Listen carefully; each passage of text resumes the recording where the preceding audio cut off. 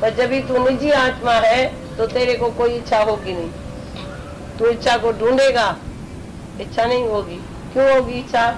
हमारी मर्ज़ी हम इच्छा करें या न करें, कोई प्रेजेंट हम रिसीव करें या न करें, मेरी मर्ज़ी है ना?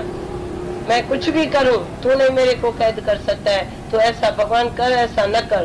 तुम्हारे बाप का राज नहीं है, जो मेरी आत्मा में आवाज़ आएगा, वो होगा। आत्मा का आवाज़ सबके अंदर आता है। जिसने जितना आत्मा को पहचाना है तो उसको अंदर रियलाइजेशन हुई है। तो तू दूसरे को ऑर्डर करेगा, ऐसा कर, ऐसा न कर, तू उसको फ्री नहीं छोड़ा है। किसी को भी दुनिया में मरने भी नहीं देते हैं तुम लोग। एक दिन चूड़ाला रानी थी, वो राजा शुक्र दोनों ज्ञान सुनने गए गुरु के पास। स्त्री को हुआ, मर्द को नहीं हुआ। तो मर्द जाके आठ बरस घुमा जंगल में। तो कोई सच्चा गुरु मिले, मेरे को ज्ञान हुए बेचारा रुल के पूरा हुआ, आठ बरस। उसको गुरु ही नहीं मिला। आखिर उसने लकड़ी इकट्ठी करके बोला, मैं अपने को जला देता हूँ। अब कैंसा मुँह लेके जाएगा रानी के पास, स्त्री तो मूर्ख होती है। मैं होशियार हूँ। मेरे को ज्ञान होना चाहिए।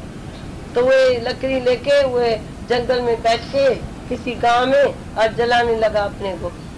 भाई, इधर कोई शमशान थोड़ी है? बदबे क्यों करता है? इधर तू क्यों चलता है? पागल कोई है?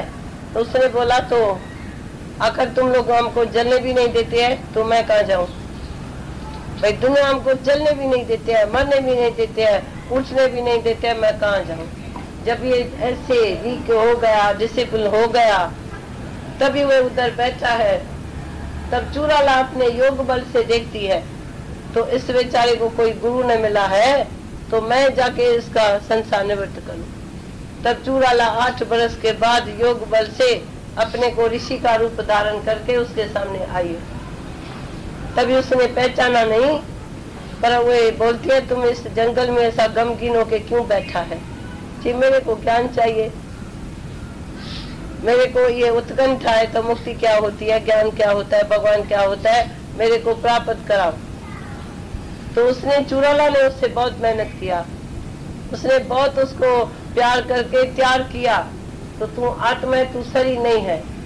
फिर उसकी दस परीक्षा भी लिया तो तू आत्मा में या बॉडी कॉन्शियसनेस में है? उसका बॉडी हिले ही नहीं। उसके बॉडी को टच भी किया। बोला, मैं तो देव नहीं हूँ, मैं तो आत्मा हूँ।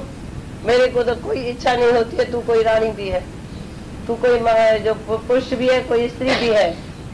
वो रानी एक दिन ऐसा मज़ाक किया होती है रा, रात को मैं स्त्री होती हूँ दिन को मैं ऋषि बनते हूँ।